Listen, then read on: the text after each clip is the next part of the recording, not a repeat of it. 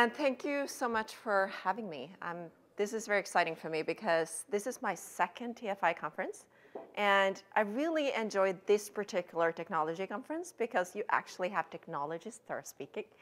There's a lot of technology conferences where you have people like me who are futurists, but who really don't have a, a you know, embedded ground in, in technology. So it's very refreshing for me. You know, we love to speculate and pontificate about the IoT revolution and artificial intelligence and the blockchain, but really we're kind of speculating. And you guys are the ones who can really actually give the quantitative um, approaches. And so I'm not here to um, talk about things I don't know about. I'm here to talk about the things that I do know about. And that is the future of the more the social fabric that all of these wonderful new technologies are being adopted and seeping into.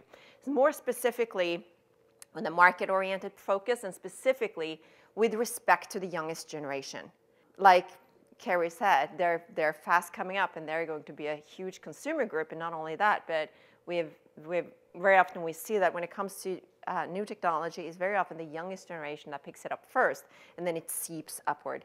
So that's why that's sort of my shtick. I try to triangulate three different approaches. So my background is in social science, strategic foresight, and data analytics. So I, I used my strategic foresight component to kind of single out, to, to, to, to get the weak signals and the emerging issues. And then I tried to use different approaches, different methods of data analysis and statistics to, to test these hypotheses very early to see if we're really onto something. Uh, and all of this kind of I sift through a, a social science filter. So it's very different when you're dealing with technology because you can really base it on Newtonian physics, but it's not, it's a little bit messier when you deal with social issues. So I specifically look at these post-millennials, which uh, I have followed for the past, most of my career, 15 years. Uh, I have a couple of them at home, uh, so that gives me a constant inspiration to keep going. And uh, I remember specifically reading uh, a book with uh, my daughter a while back, where there's a chapter uh, where there's a discussion between a living person and a zombie. And the zombie asks the living person, who knows more about life? And the living person thinks about it. You know, it's probably the living. But then she says, no, actually, you have been alive and then you died, or you sort of died because zombies don't really die. But you have something to compare it to. So having been alive and then not alive, you can actually say more about life than, than if you uh, were alive. So I'm actually here, when I look at younger generations, I'm a zombie.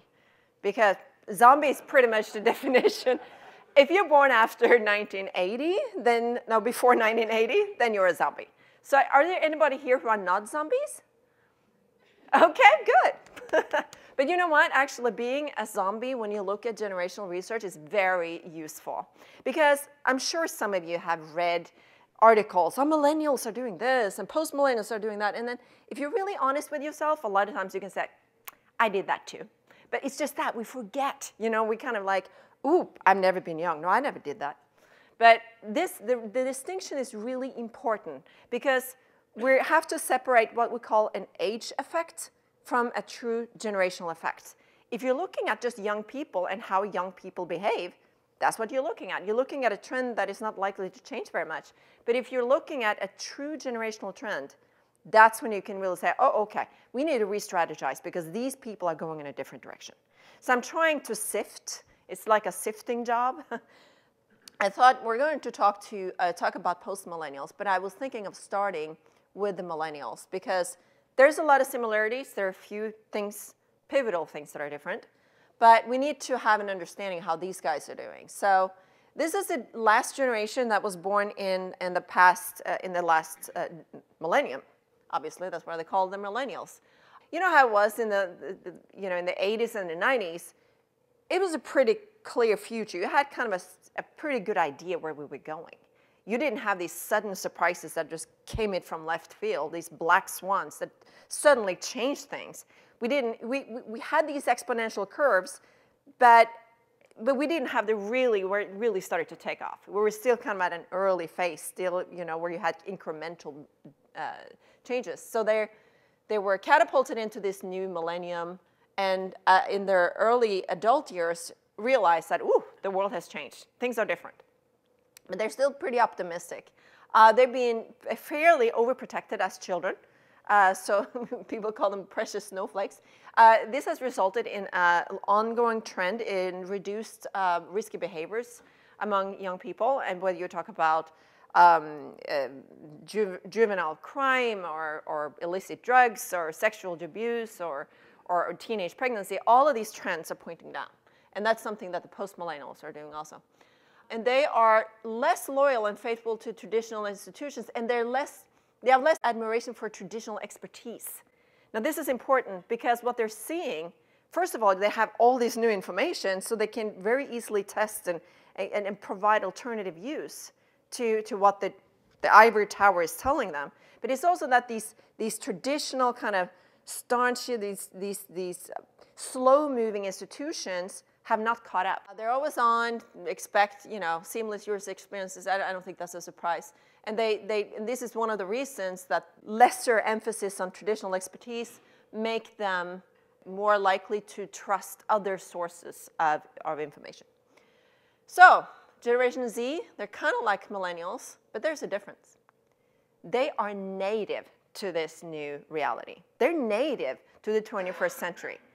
Now that might be like, yeah, duh, but if you really think about it, that's huge. What was one of the first things that happens in the, in the 21st century? One of the first disruptions we had, 9-11.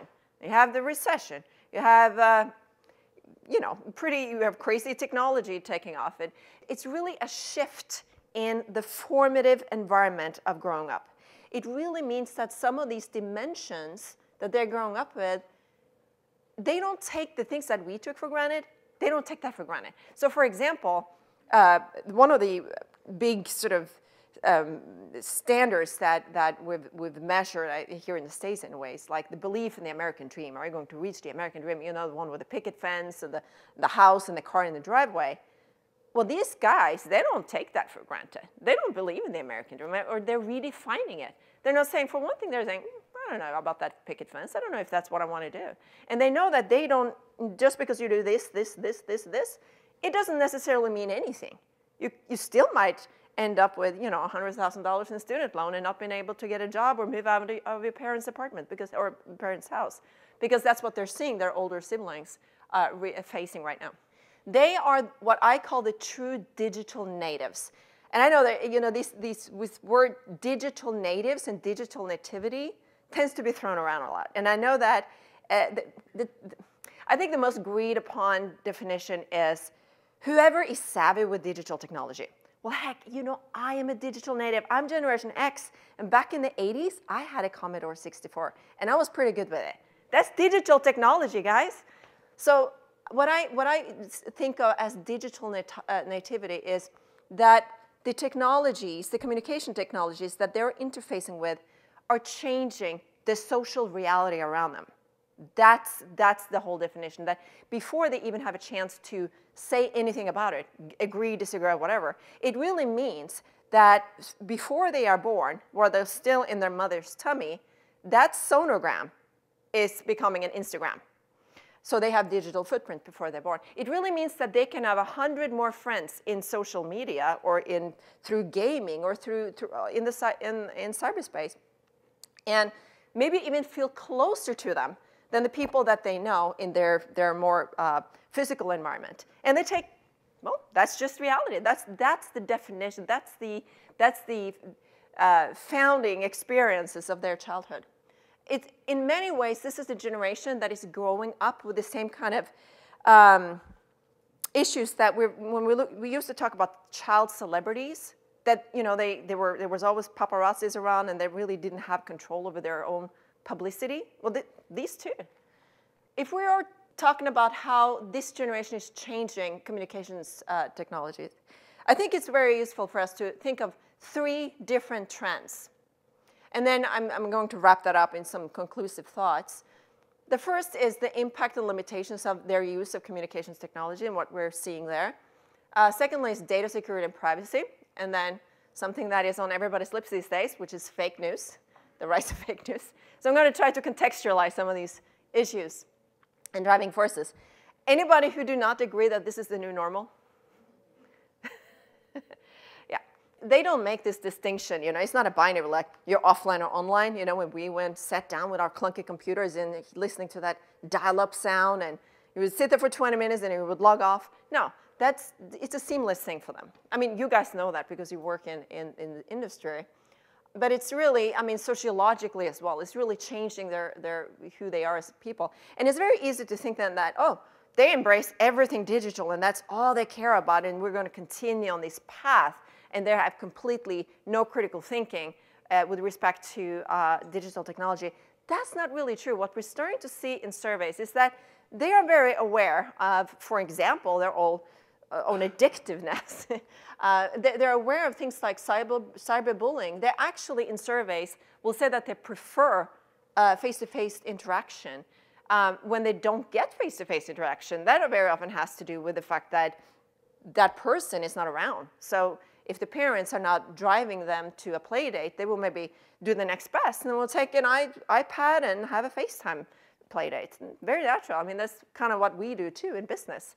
Um, but uh, one thing that we also tend to forget, this is a generation that is absolutely always on. So when we're sick of our colleagues, when we get home for the day and we're like, oh, you know, you can close the door, you can pour yourself a stiff drink, and you can sit and watch a show or on Netflix or whatever, and we can, you can kind of forget about it. They can't. When they get home, there is a hundred text messages and there's a best friend or 15 best friends who are new profile pictures. And, and if you don't respond to that instantly, oh my gosh. I remember just to kind of give you guys a story. I took my kids to Norway last summer and there's a seven hour uh, time difference. So at 12 o'clock at night, Norway time, I was working while my kids were in bed. I saw the iPad on the table and it lit up, lit up, lit up. And after a while, I just had to look at it. So it was my daughter's iPad. Are you there? Hey, hello, hello, are you, hello, are you, are we not friends anymore? Boo-hoo, emojis, ah, the world is falling apart. And it took less than 10 minutes to get all of those text messages. 10 minutes while my daughter is sleeping in her bed and her best friend thinks that she hates her. Whew, whew, that's, that's something, guys. Um, and I've talked to a lot of media researchers too, and that's really very much what they're, when they talk to young people, that's, that's really the, uh, the, the message that we're getting. So we want to know, do you like the friend or not like the friend? I, I absolutely, she's a very, very sweet friend. But you know, this is the new normal. It's like, yeah. Anyway, so another thing that we grown up tend to think is that, um, well, you have social media and then you have, you know, just regular, you know, people you interact with. You remember these casts from high school. You remember every single person, not only high school, but home too. You have the BFF, you know, that's Snapchat. It's like you can be goofy, you can be authentic, you can send a message and, uh, and then you know design when it's going to delete itself. And you really only it's a one-to-one communication. It's not really you know it's not what it's not your public display. But then you have the opposite, which is the queen bees, and that's Instagram. This is this is me, everybody. Like oh, this is my perfect world. I'm the big queen here, and look, look at how many likes I have. Look at how many followers I have. This is the public display. This is the queen bee. This is the one that you you, you meet in the, in the hallway at school, and if you're on her wrong side, she'll snub you. Actually, we're seeing the same behaviors in social media. What they'll do there, they will block you. That's the way of showing the social hierarchy. Blocking somebody shows everybody that you're on the out, I'm on the in. But then we have a place for the outsiders to go. They go to Tumblr. That's the emos. That's the black dress. That's the alternative crowd. You know, the listening. They're poetic. They listen to alternative music, uh, and they and you can find some really beautifully curated uh, Tumblr sites. Now, I will say, if your child is on Tumblr, you might want to just pay a little bit of attention because there are some sort of destructive, self-destructive communities that idealize suicide and cutting and pro-anorexia and pro-bulimia sites. So it's, eh, it's, you know, but again, it's the same thing. Like when, you, when your child starts hanging out with, you know, the alternative crowd, is like most of the time is it's pretty, it's, it's a good thing, but you just kind of want to keep an eye on it. Then you have the YouTubers, and that's sort of, they know where they're going. So they're using their social media to get their message through, and they're very ambitious. For them, it's all about, you know, getting that message across and, uh, and, and using it as an entrepreneur and maybe getting some ad revenue on top of it. And then you have Vines, which is the class clown, you know, the ones that are doing little silly things. And then, I'm sorry, if your friend, uh, no, if your daughter or son or your children's friends are friending you on Facebook, it doesn't mean that you're hip or cool, that they think that. It's kind of like the family reunion. It's like, okay, I'm here, but it's, no, they're not on Facebook. They don't care about Facebook. That's for the old people, you know? so there's a little bit of how the new dynamic is. And of course, in five years, or maybe even just one year, it might look very different. There might be other social media, but these roles are not going away. So I had the opportunity to lead a national survey this, this fall for a big nonprofit in the educational uh, sector. And so we asked a lot of young people, what do you think is going to be the most important skill in the future? And they said communication, before STEM, before anything else. That was really, it was really remarkable. And if you combine that knowledge with their use of communications technology, there's, it's a pretty interesting picture. Um, because it turns out that the ones who are using communications technology the most are also the ones that feel that they're most, um, uh, that ha they have agency of their future. This is a very important issue these days where, uh, uh, when um, uh, college tuition is going through the roof, a lot of kids are starting to ask, well, will there really be a return on investment if 47% of all of the jobs we have today might be automated. Do we know which jobs? What if I paid $100,000 to get a degree that a machine is going to do? So this is important. It's important that they're looking at various avenues towards building their careers. And, and these guys feel that they have more agency, the ones who are using. If we're to talk about trend number two, anybody know this girl? Well, she looks like a Barbie doll, right? She's more than that. She still has humanly impossible waist measure measurements, but she is a robot and she can communicate. She's just one of many artificially intelligent toys.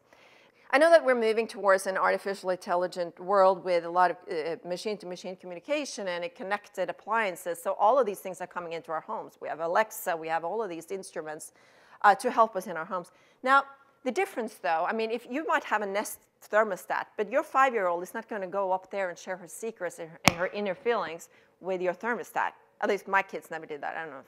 Uh, Alexa, we've already started to see some of the things that are happening when kids are interacting with Alexa, but still, it's just a thing that you have in the middle of the room. So it's not, it doesn't, it's not, the context is not for the child to, they might ask for fart jo jokes and things like that, but they're not going to, you know, have very trusted conversations in the way that they do have with their toys. Where does this data go? It goes up in a big cloud in the data deposit repository. Now the parents can go in, and some parents might be smart enough to go in and delete that, but that is an opt-in kind of thing. This is data. I mean, once it's stored, who knows what's going to happen to it, right? And it, I, have heard so many futurists say, yeah, privacy is dead. Nobody cares about privacy anymore. No, that's totally true. If you, if you ask this generation, which is presumed to grow up in this new era where privacy doesn't mean anything, you ask them, children will actually be twice as likely to, to be watchful of what their parents are sharing about them in social media. There's actually a lawsuit in, uh, in Switzerland where uh, a, a, girl is suing her parents for sharing things on Facebook about her. So what we're really starting to see here is the contours of a completely new uh, consciousness around the issues of cybersecurity and privacy. Again, this is not a fully formed generation. They're still children. Their prefrontal cortex has not fully developed, and still we're starting to see that they have more concerns around this. Again, it's because they're growing up in it.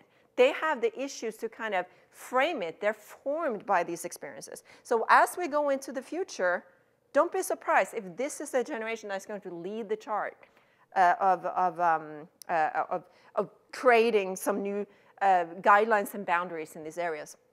Again, there's going to be tons of data that can be data mined and put together and, and maybe even abused. It's maybe something we should think about now that it looks like uh, some governments are going in more authoritarian direction. Uh, yesterday, I think the president said that uh, the use of uh, torture or, or interrogation techniques can be, um, can be justifiable to get intelligence. Now, there could be many avenues to get to have aggressive approaches to get intelligence from people.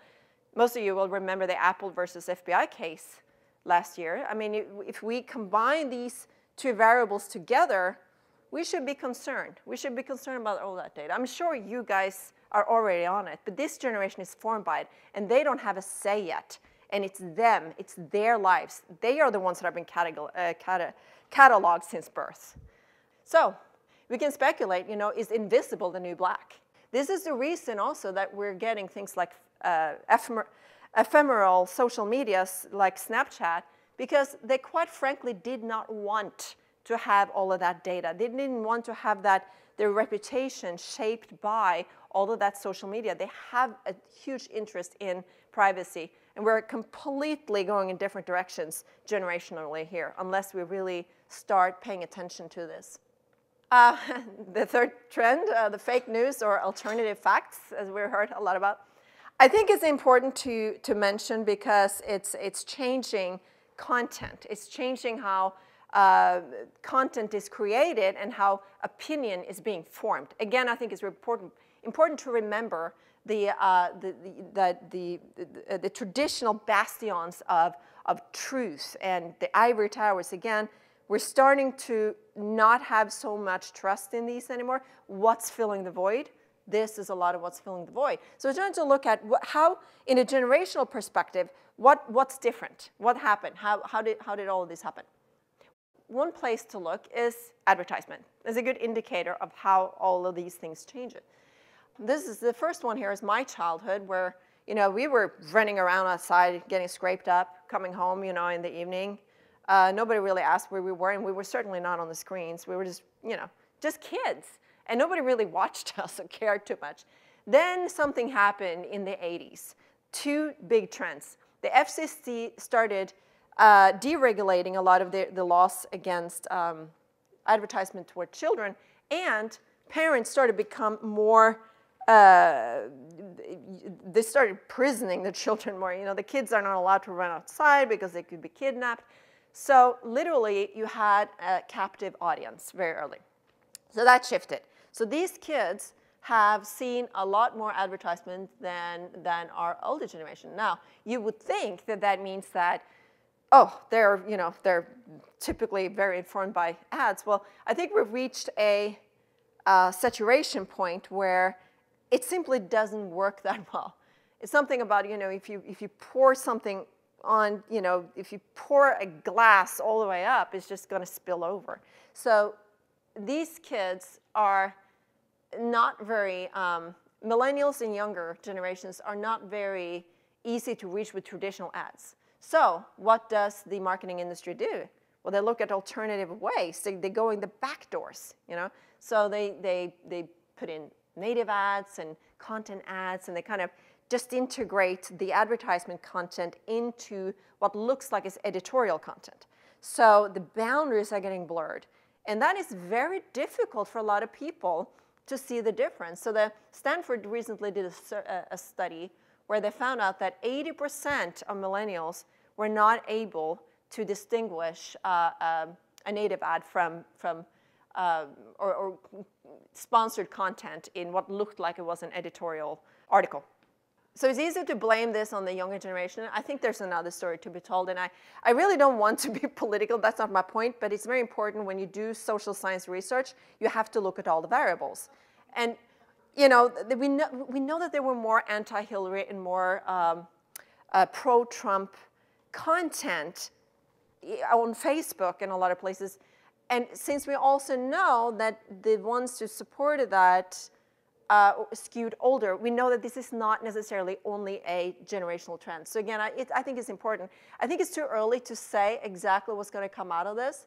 Uh, perhaps the younger generation is going to be more trained what I do think that they're going to, we're going to get new reliability standards. We're not going to go back to the ivory towers. We're not going to go back to long peer reviews and things like that to, to, to validate what's true and what's not true. Because it's simply, it's too much content and it's, things are changing too fast. This is the place for artificial intelligence, I think. I think the NLP is going to go make bounds and leaps. And I think that the social networks are already starting to find ways, uh, to find algorithms that can give sort of, sort of a probability score on truthfulness of various content. Uh, I definitely see that this generation is going to address privacy and cybersecurity issues much more. And we're not even close to, to, to, to having uh, uh, the security we need to, for, for everything, to meet this future, I think. Uh, I worry about new class divisions that are based on digital technology and based on the use of digital technology. What do we use it for? Do we use it for learning? Do we use it for entrepreneurial, entrepreneurial activities?